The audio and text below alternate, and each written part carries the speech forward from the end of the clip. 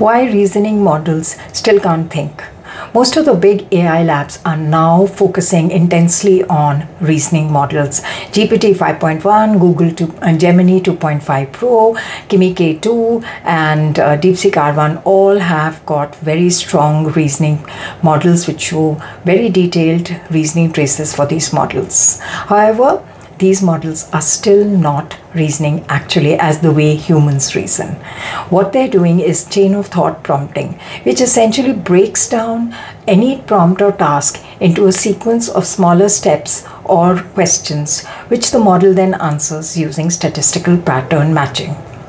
So the question then arises what is this statistical pattern matching and how is it different from the way humans reason? Let's try and understand this with a simple example, such as a sentence such as the night is dark. Now, an AI would be able to make the connection between night and dark because it sees a very vast number of sentences in its training corpus, such as it became dark when uh, night fell, the night is dark, and etc. So these are these and similar sentences lead it to infer that night is dark. Underlying this understanding, this inference of the relationship, it does not have an understanding of either the concept of night or the concept underlying dark. So it does not understand that night is caused by the rotation of the earth and that dark is caused by the fact that the sun goes below the horizon. Now, contrast this with the way a human child would uh, make the connection between night and dark.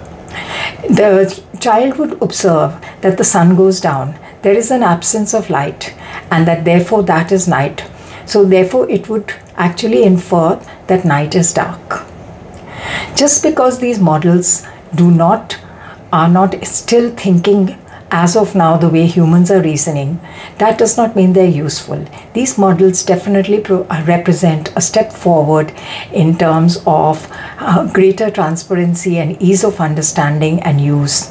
And the ability to break down is also um, means that they can be used for far more complex coding and debugging kind of problems.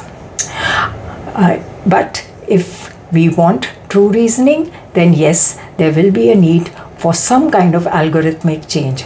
Just simple statistical prediction may not lead to reasoning, true reasoning models. If you like this kind of um, information on advanced AI concepts, then follow me on my channel, AI Economics.